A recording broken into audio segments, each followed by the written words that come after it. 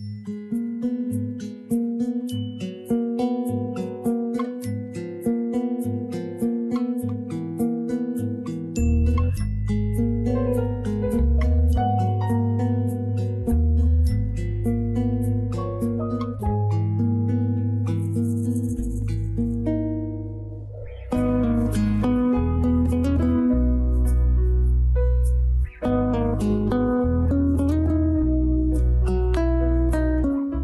Pensamientos diarios.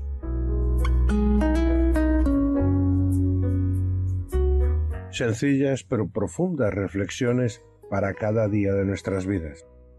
Meditaciones de la palabra de Dios nacidas de un corazón agradecido por su gracia y misericordia. Pensamientos diarios.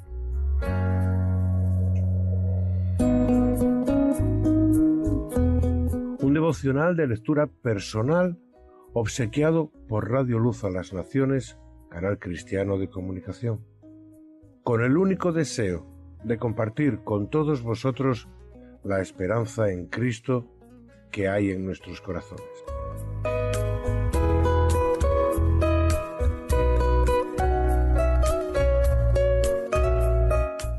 Mi ceguera.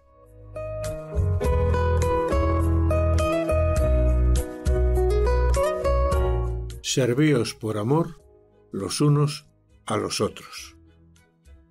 Gálatas capítulo 5 verso 13.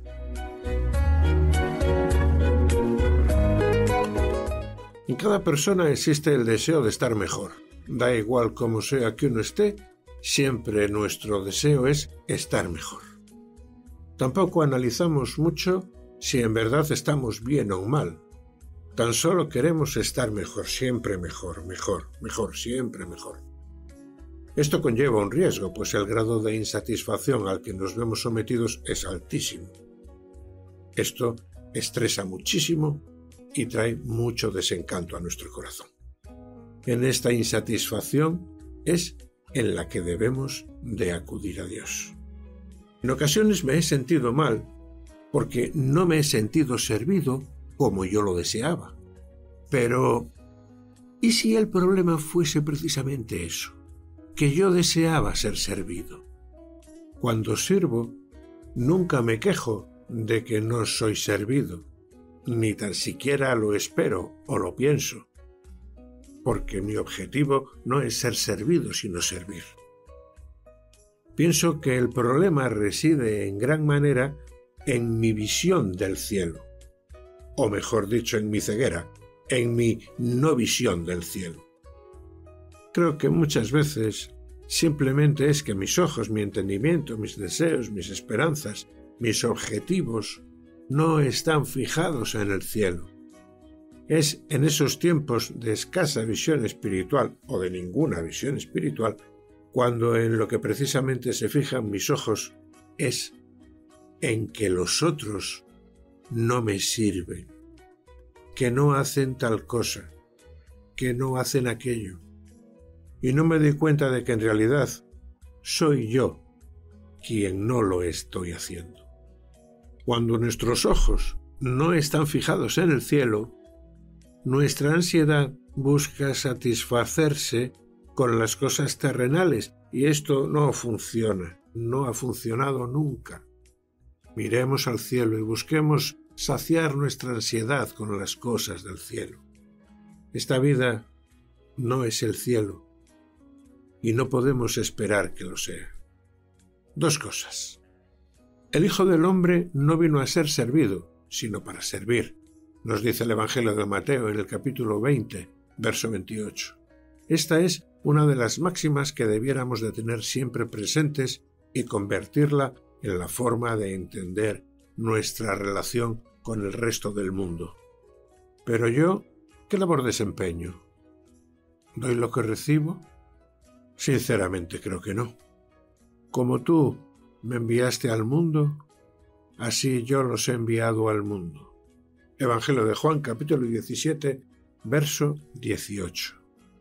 Y esta es la verdadera manera en la que debiera de desenvolverme entendiendo cuál fue la condición en la que Jesús desarrolló su vida y comprender y aceptar que eso es lo que en verdad Él demanda de mí, un espíritu de servicio. Cuántos actos cotidianos, cuántos pequeños detalles al cabo de la vida destruyen nuestro testimonio como siervos de Dios. Cuántos días desperdiciados en nuestras propias ideas. En realidad creo que nuestro amor, nuestra forma de servir y entregarnos a nuestros hermanos tiene mucho que ver con la forma y la medida en la que amamos a Dios. Por lo que esa forma de relacionarnos con Dios, de darme o de dame y dame, también acaba siendo la manera en la que nos relacionamos con los demás. Señor, ayúdame a ser un verdadero siervo. Quita de mi vida todo deseo de comodidad, todo deseo de vivir tranquilo en mi entendimiento y ayúdame a ver las necesidades de mis hermanos. Hermanos, si alguno fuere sorprendido en alguna falta, vosotros, que sois espirituales, restauradle con espíritu de mansedumbre, considerándote a ti mismo.